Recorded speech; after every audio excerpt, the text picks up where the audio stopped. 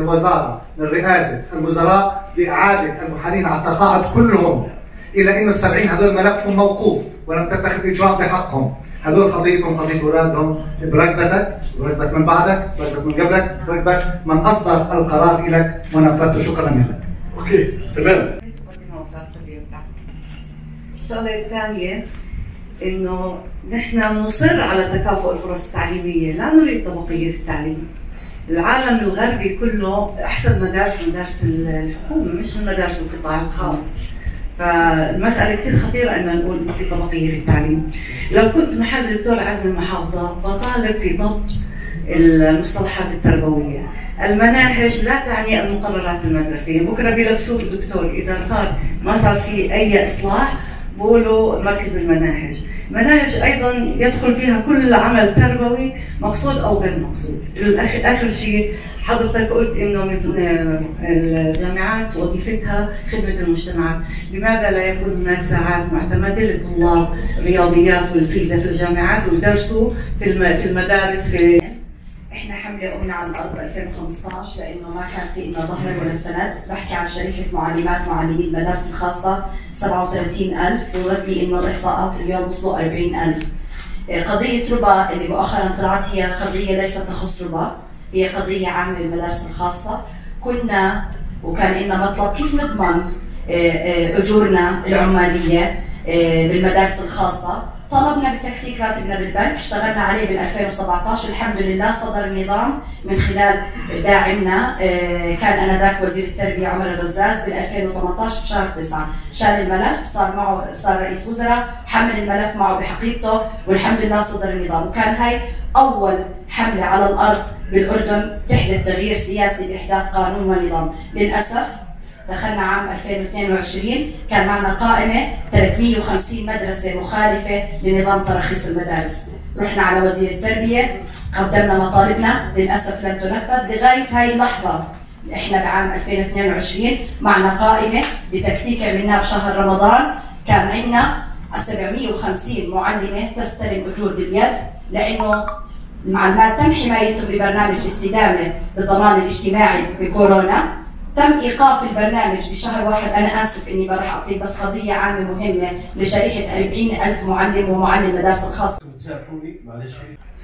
كثيرا كثيرا. بنحكي عن رعب التوجيهي قبل قليل استهللنا هذا اللقاء برعب التوجيهي أي شخص فينا الآن عنده امتحان امتحان مقابل لوظيفة سيصيب رعب.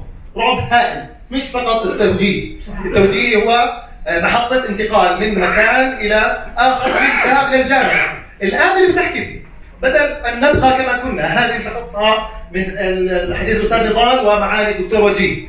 أن نبقى كما كنا وقلنا أن آه، خريجينا في الجامعات كان كانوا من المرحب بهم وممن أحدثوا تغييرات على مستوى العالم للوطن العربي. هذا أولا. اثنين لما نتحدث عن نظام توجيهي بدي أطور في نظام التوجيه وابى أقول أنا مخرجاتي في السابق كانت مميزة وأصبحت الآن أضعف. في مرحلة من مراحل التوجيه كانت المخرجات لمرحلة معينة بعد 2014 مخرجات طلاب الجامعة مستوى أولى يوازي رابعه اللي قلنا كان عندنا نظام الفصلين. نظام الفصلين. ونظام الفصلين قامت الوزارة بتحويله إلى نظام العام الكامل السنة الكاملة. وقد قمنا بحملة ذبحتونا بالتحذير من خطر الوقوع في مطب آخر وقعت فيه الوزارة سابقا. العام الواحد السنة الدراسية الواحدة ومن ثم يكون التحويل إلى السنة الواحدة على حساب المضمون. تتدخل في رفع في زيادة زيادة بالرسوم أنا حكيت المدرسيه لا تتدخل لا, لا وزارة الداخلية حكيت. ولا التربية ولا المالية ولا حدا بيتدخل ولا حدا يجرؤ. أنا آسف للمصطلح ولا حدا يجرؤ لا تصحح لي لأن أنا حكيت زي ما حكيت طيب أوكي. أنا أنا أنا الآن فهمت خطأ بعتذر هاي نقطة، بدي أحكي في قصة نظام العمل الحزبي داخل الجامعات. وبشكل مختصر جدا. آه، الأساس الأساس انه أنا بدي أحكي في نظام العمل الحزبي داخل الجامعات انه أحكي إنه في عندنا حرية عمل داخل الجامعات بالتالي بدي أدخل الطلاب الحزبيين يشتغلوا فيها ولا لا؟ إحنا دكتور 90% من جامعاتنا لا يوجد فيها انتخابات اتحادات طلبة، اتحادات طلبة لا يوجد لا انتخابات اتحاد طلبة ولا اتحادات طلبة. أنا بحكي لك عن جامعة من الجامعات الكبرى بحكي معهم تليفون إنه شو شكل التنسيق الطلاب عندهم بيقول إحنا رايحين راسنا ما عندنا سامحوني معلش بعد الأول ثانوي لتتجه لثانوية إربد الوحيدة مشان تكمل الثاني ثانوي والتوجيهي. باليوم الأول بالمدرسة إجت مديرة المدرسة تصفحت الطالبات وقالت لأختي أنت اللي منزلة برة على شعرك لقدام بدك بكرة تيجي قاصة شعرك وإذا ما قصيتي شعرك أنا بجيبك قدام البنات هون وبتركعي على ركبك وبقص لك شعرك. مفهوم؟ قالت لها أنا اللي بفهمه. وجاي لهون على المدرسة مشان أفهم أشياء كثيرة. لكن اللي مش فاهمه إنه عملية قص الشعر هو من تخصص صالونات الحلاقة أم من تخصص من تخصص مديرات المدارس.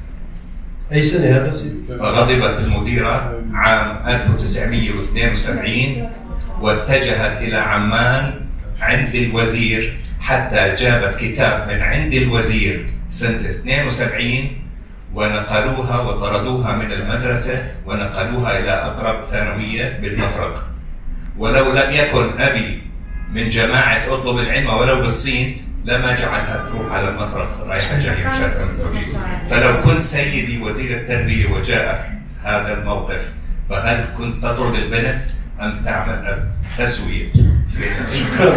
والله هذا السؤال قال بعدين سيدي أنا عندي جزئين الجزء النفاقي والجزء التمني. خليك من النفاقي وخش في الموضوع الجزء النفاقي بشكر كل جهود وزارة التربية والتعليم على تقديم وتوجيه آمن هذا العام.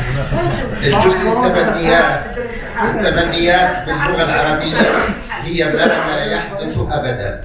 يعني لا يمكن حدوثها ولذلك بتمنى التطوير يحتاج إلى أدوات جديدة. بتمنى وجود هذه الأدوات الجديدة. والأدوات الجديدة من وجهة نظري مجلس جديد آه، اشتهر أعضاؤه بالحديث عن التعليم وتطوير التعليم. اثنين معلم جديد بدءا من شكله ومظهره الخارجي ووصولا إلى ماذا يفعل وماذا يقول للطلاب بتمنى معلم يقول أنا مش معلم تاريخ أنا معلم أطفال. مش معلم رياضيات أنا معلم أطفال.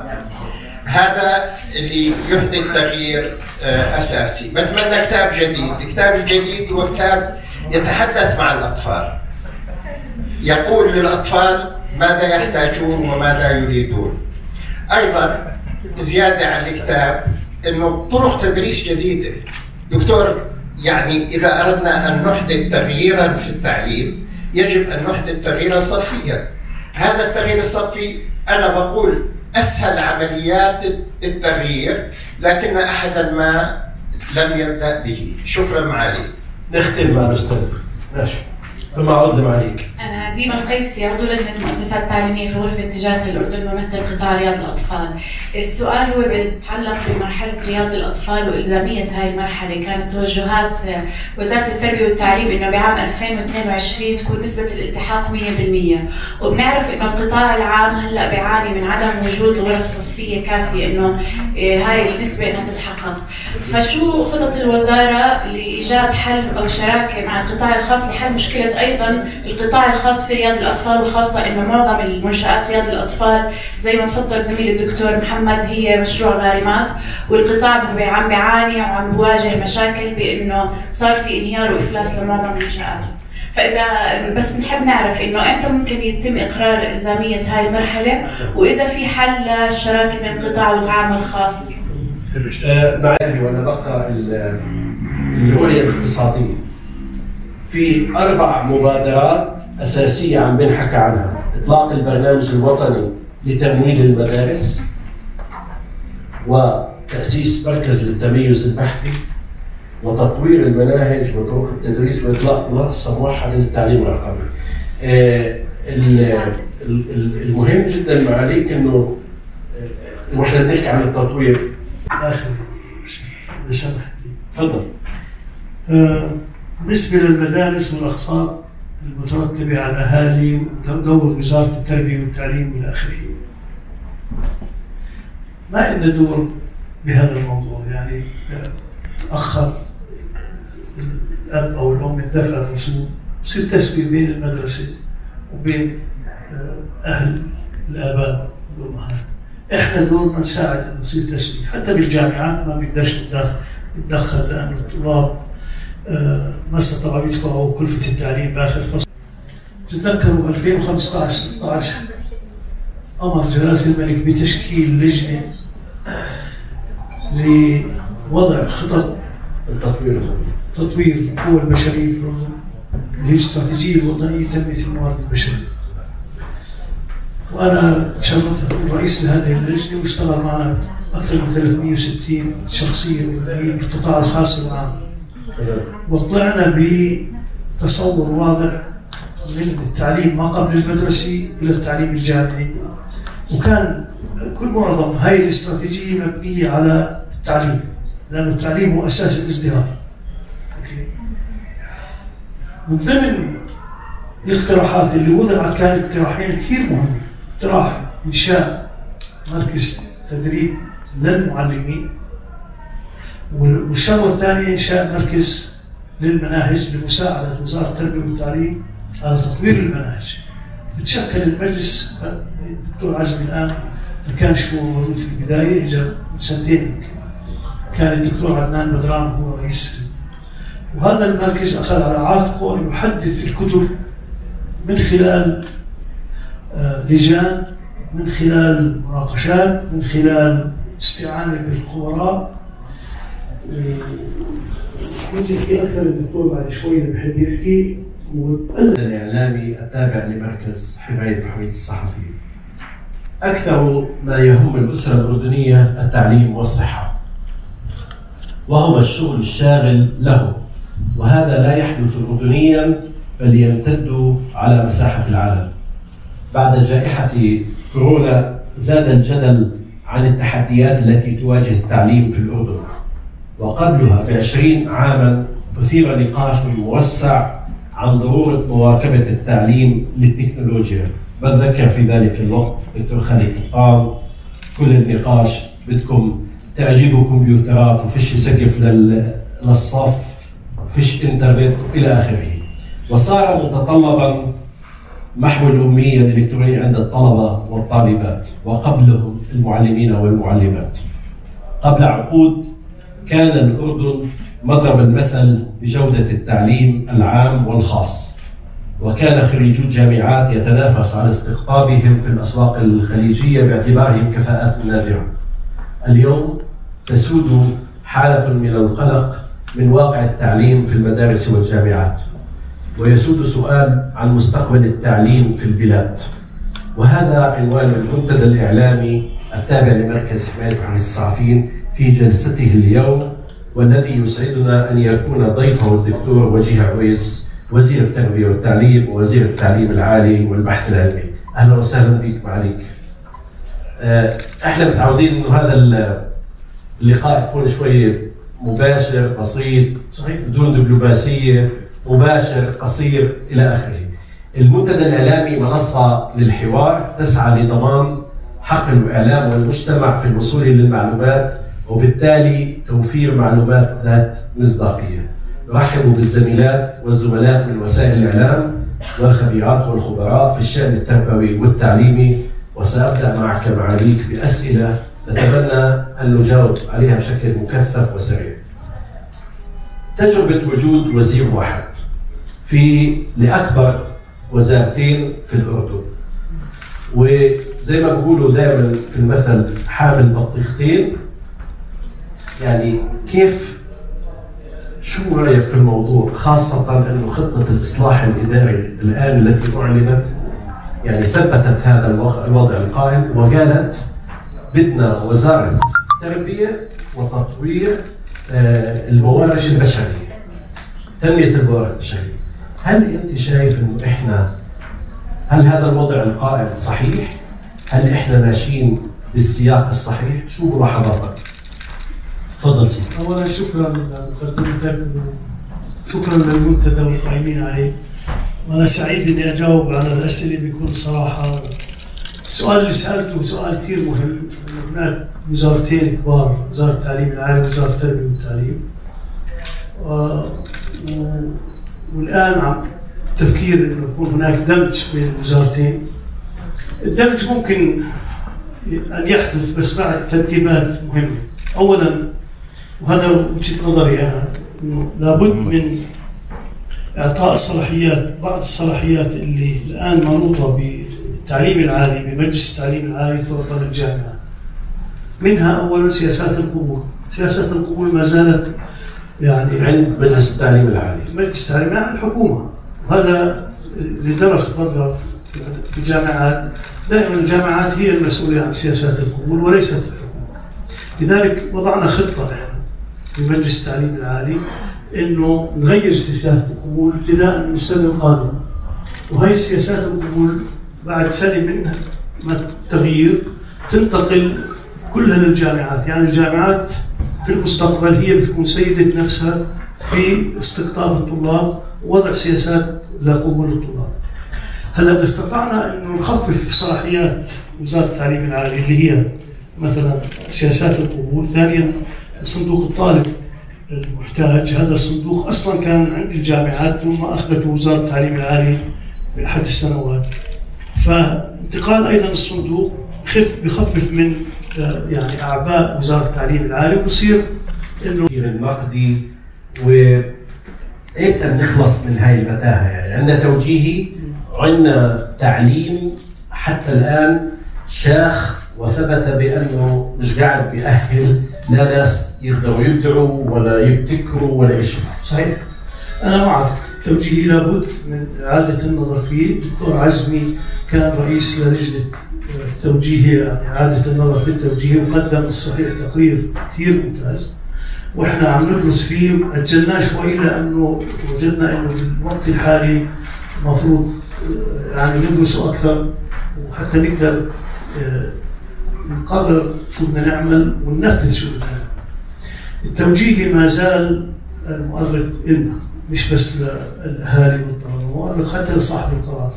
السبب إنه توجيهي وهذا وجهة نظري أنا بطل يقيس قدرة الطلاب على الإطلاق، بيقيس قدرة الطلاب على الحفظ أكثر منه على التحليل وأكثر منه على يعني الاستنتاج. و بس مشكلتنا الأساسية إنه التوجيهي هو مدخل للتخصص وهذا الغرض اللي أنا بحكي فيه. التوجيهي المفروض يكون علامه التوجيهي مدخل للجامعه وليس للتخصص. كل جامعات العالم ما بتدخل طلاب على معدلات امتحانات ثانويه. بتدخلهم بعد سنة تحضيريه بعد ما يعرف الطالب رغبته وقدرته وبعدين بيدخل إلى التخصص حسب الرغبة والقدرة مش حسب قديش حصل في أو أو بيكون في مسار قديم محدد شو امكانياته واهتماماته بطمئنكم إنه هذا الحكي بحث في مجلس التعليم العالي، الدكتور عزمي معنا نائب الرئيس التعليم العالي وأخذ فيه قرار أنه في السنوات القادمة ابتداء من السنة القادمة إذا مشيت قضيه الإصلاح الكامل اللي أنا بحكي فيه معدل التوجيهي لن يكون مدخل إلا للجامعة. أما طالب بيدخل للجامعه إذا حصل على علامات الدنيا للطب بروح سنه تحضيرية اللي هي 85 إذا حصل علامات الدنيا للهندسة بروح سنه تحضيرية للهندسة. حقوق إلى آخره.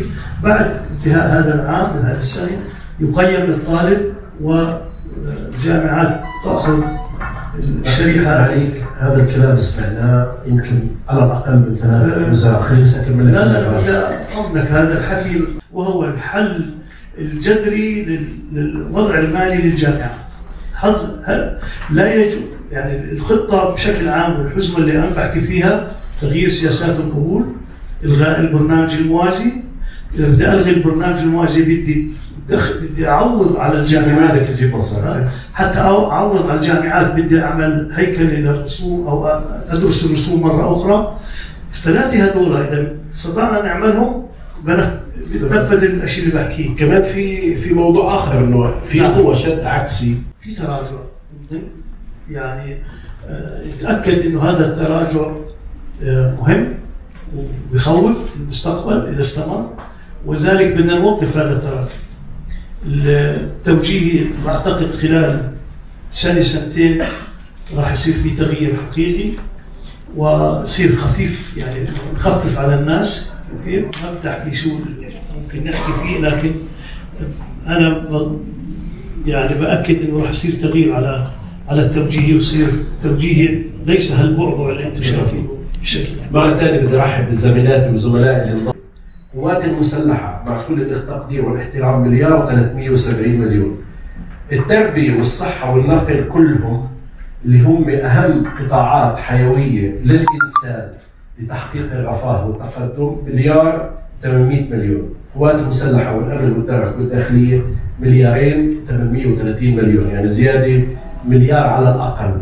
غير النفقات التي يعني ليست لتدقيق ديوان محاسبة ولا معروف، كيف ممكن تحكوا عن التربية والتعليم والتطوير؟ نعم. أول شيء كل مؤسسة لها خصوصيتها بالنسبة للموازنة تبعتها بالنسبة لوزارة التربية والتعليم يعني اللي صاير لازم تعرفوا إنه إحنا الولادات السنوية حوالي 200 ألف طفل كل سنة.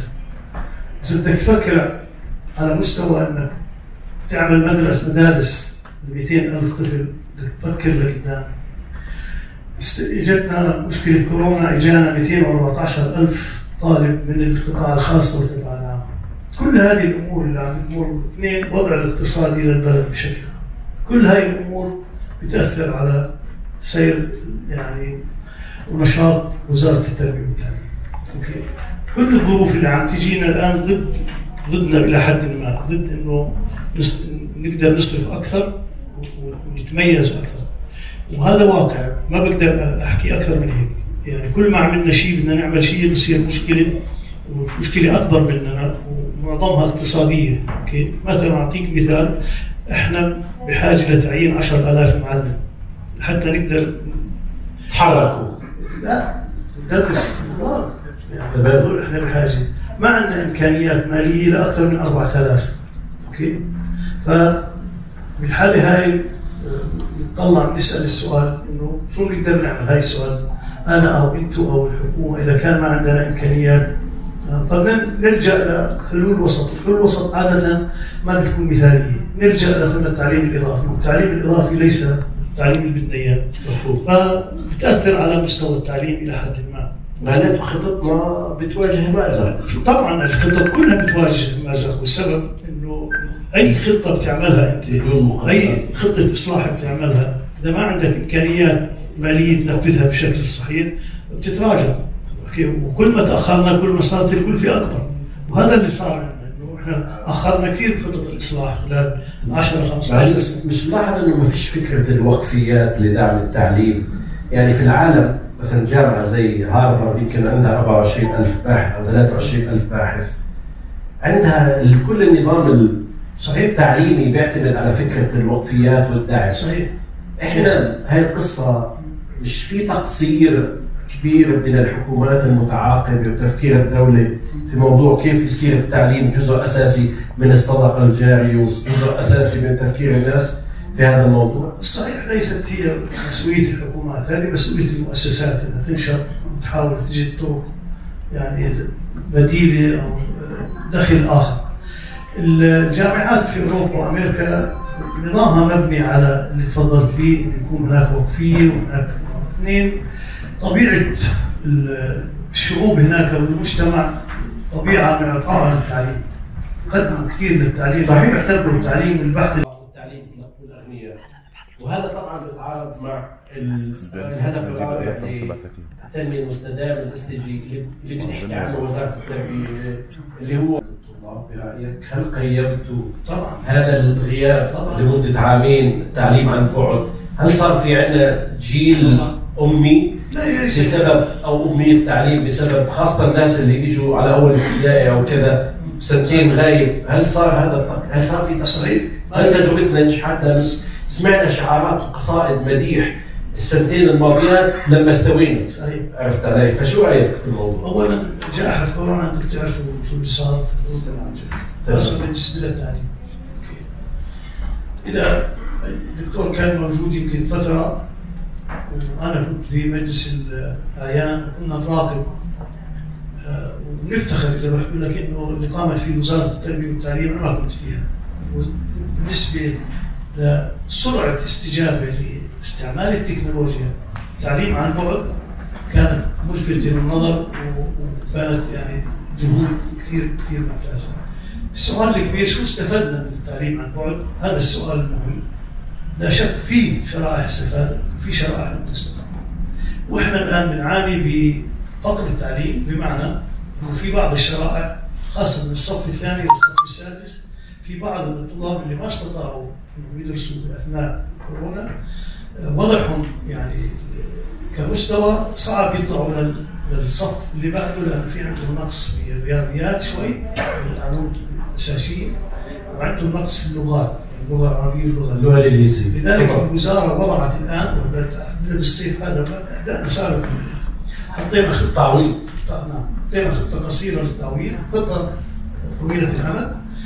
وإن شاء الله نقدر نعوض على الطلاب آه، في عندنا منصة أيضا هذه المنصة تستعمل أوكي ل يعني للطلاب بحيث انه يستطيعوا أن يحصلوا على بعض الحصص اللي تقويهم هلا ما ب- بقدر ما بنكر إنه صار في ضعف عندنا.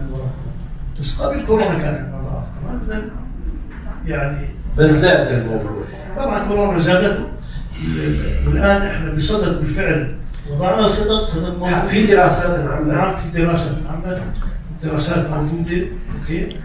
آه، وعندنا نتائج وخلال هاي النتائج عم نشتغل على وضع خطط وضعنا الخطط الصحيحه بلشنا فيها بلش فيها بشهر 8 okay. لتعويض الفاقد. ما أمكن. تعويض الفاقد ما أمكن. معاليك القضية ال- التي تؤرق ال- ال- التي تشغل بال كل الناس اللي بتابعوا ال- العمل العام قضية نقابة المعلمين. قضية نقابة المعلمين يعني في البداية كانت أزمة كبيرة جدا عمت في كل بيت في كل أسرة. الآن في ناس طلعوا على الشجرة في ناس نزلوا على الشجرة. ال- ال- ال- النقابة النقابة ككيان باقي مجلس النقابة أعتقد آه، حل أنتم للآن مش سامع في صمت يعني ليش هالقضية سياسية أمنية ولا قضيتكم أنتم لا بس والعمل النقابي حق تنظيم النقابي حق وين أنتم في الموضوع؟ اولا بجوز أنت ما بتعرف إنه انتهت مدة الأربع سنوات للنقابة صح ولا لا؟ أنا قلت المجلس انتهى حل بعد لا انتهت فترتهم. لما تنتهي الفترة والأمور طبيعية فيش قضايا بالمحاكم أوكي في نمشي على القانون. بعد ست اشهر خلال ست اشهر تشكل لجنة تعمل انتخابات. الموضوع أعمق من هيك لأنه ما زال في هناك قضايا بالمحكمة. ما زال إحنا ما وصلنا قرار المحكمة اللي تفضلت فيه. لحد الآن لم يصل إلى وزارة التربية اللي هو قرار محكمة نعم التنفيذ لم يصل ك سمعناه في زي ما سمعتوا أنتم بس لم يصلنا بشكل مكتوب لغاية طب الان بدها ضلوا سنتين مش وصلتكم لا لا هو القرار حديث ما صارلوش أقل من شهر. أوكي. اثنين في قضايا أخرى بالمحكمة. ضد المجلس مش ضد مش ضد النقابة ضد مجلس النقابة أو أعضاء. سيدي النقابة كنقابة ك كنشاط والنقابة انتهى من أربع سنوات. شو كان؟ قبل أربع سنوات انتهى طبيعيا. أوكي؟ هلا في قضايا بالمحكمة ما بنقدر إحنا نتصرف إلا لما نخلص من قضايا المحكمة اللي تتعلق بالاشخاص اللي كانوا فيها بس انت عندك تدعي الانتخابات وترجع النقابة وكل هالقصص. في الوقت الحاضر حتى نقدر نتاكد إنه كل شيء صار طبيعي انتهت قضايا المحكمة بكل حادث الهيئة الملكية للإصلاح السياسي شغلة حالة الخوف من العمل السياسي في الجامعات وجلالة الملك كل يوم بيحكي في هذا السياق. أنا كنت طالب في الجامعة سنة 1979 80 اليابان وكنت بشتغل بالعمل السري. وكان العمل السياسي أحسن مليون من هذا. عرفت علي؟ هل أنت شايف إنه إحنا فعلا حرية العمل الطلابي والأكاديمي مش طلابي الطلابي والأكاديمي لأنه حتى حتى الأكاديمي مصادر. هل ممكن يكون في صيانة له في ظل مواجهة عقلية تحكمها مقاربة أمنية بحتة؟ ما ما ضل من هذا الكلام ما زال صدر القانون صدر قانون الأحزاب وأنا بدي أركز على مادة 20 ألف من قانون الأحزاب اللي بتقول إنه حق للطالب المنتمي لحزب يمارس كل نشاطاته الحزبية داخل حرم الجامعة. مفهومي أنا لهذا الموضوع إنه أصبح عندنا حرية فكره إنه الطالب والمواطن يعبر عن رايه. هذا هذا نوع من أنا بعتبره يعني تقدم جديد بدون بدون مساءلة. بمعنى أنك تعبر عن رأيك. إذا رأيك يعني آه، يعني بمعنى ما بمسش الآخرين بيسيئش للآخرين أوكي؟ أنت محترم وبتقدر تعبر عن حزبك بتقدر تعبر عن شعورك بتقدر تعبر وهذا داخل الحرم الجامعي أوكي؟